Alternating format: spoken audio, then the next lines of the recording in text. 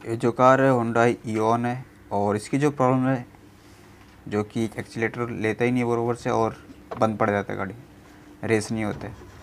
तो अभी स्टार्ट करते हैं इसको, और स्टार्ट करने के बाद चेक इंजन लाइट एक्टिव रहता है कंटिन्यू तो देख सकते हैं, जो कि गाड़ी स्टार्ट है। और इसको एसी करें एसी ऑन करेंगे तो ज़्यादा ऑपरेशन करने लगता है इंजन और बंद होने लगता है, और बंद हो जाता है। और पिकअप बिल्कुल नहीं है।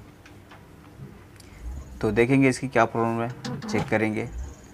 जैसे कि देख सकते हैं, अभी दिखाता हो यहाँ पे इंजन रेस करके। तो देख सकते तो इस तरह से रेस करने के बाद ऐसा हो जाता है, जो कि एसी बंद है एसी चालू होने के बाद और प्रॉब्लम होता है।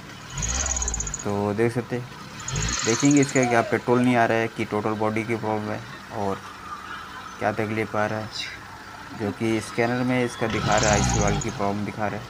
तो आई वाल बरोबर चेक करेंगे कि आई वाल ख़राब है या वायरिंग की प्रॉब्लम है, कि या टोटल बॉडी की पूरी प्रॉब्लम है टोटल बॉडी डालना पड़ेगा। तो देखेंगे चेक करेंगे। चेक करने के बाद मालूम पड़ेगा। जैसे ही देख सकते हैं। सबसे पहले इसका हम करेंगे करंट चेक क्योंकि वायरिंग की प्रॉब्लम हो सकती है वायर ब्रेक हो सकता है। तो इस तरह से देख सकते और करंट चेक कर लेते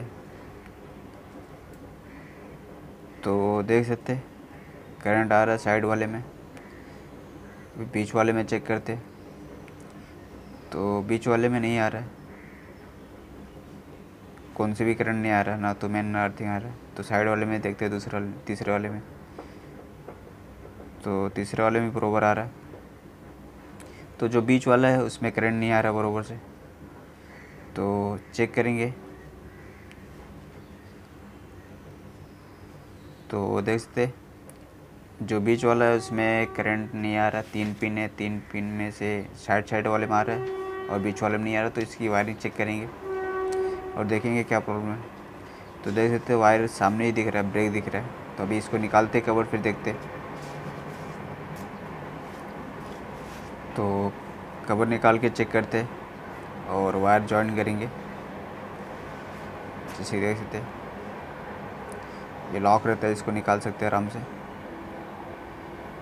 निकाल के ऑफ़िस वायरिंग करके फिर फिट कर सकते तो देख सकते हमने इसको निकाल लिया है।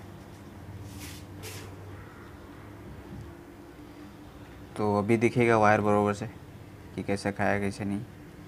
तो देख सकते ये रहा वायर।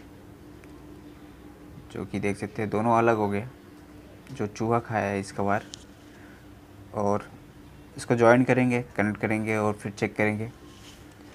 तो देखते हमने वायर ज्वाइन कर लिया और चेक करेंगे करंट आ रहा है कि नहीं बरोबर, क्योंकि करंट इशू था।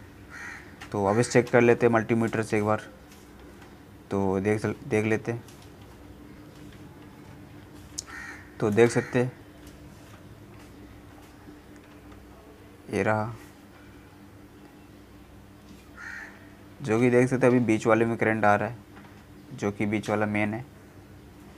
मल्टीमीटर थोड़ा उल्टा उल्टा लगा है, लेकिन करंट आ रहा है बरोबर माइनस दिखा रहा है। तो अभी इसका पावर जो है, आने लगा सॉकेट में, और हम इसको टेपिंग ओपिंग करके लगाते स्टार्ट करते चेक करते। देखते बरोबर हो गया कि नहीं हो गया। जो कि ऐसी प्रॉब्लम पेट्रोल बरोबर नहीं आएगा फिल पम्प का भी रहता है, अगर कम पेट्रोल प्रेशर आ रहा है तो भी होता है, या इंजेक्टर का प्रॉब्लम रहता है तो भी ऐसे प्रॉब्लम होते हैं। तो पहले हमें चेक करना चाहिए बरोबर से, फिर कोई चीज़ नया डालना चाहिए।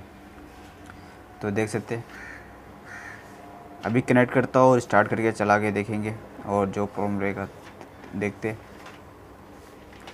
तो देख सकते इसकी जो प्रॉब्लम थी, इसकी थी, टोटल बॉडी की थी।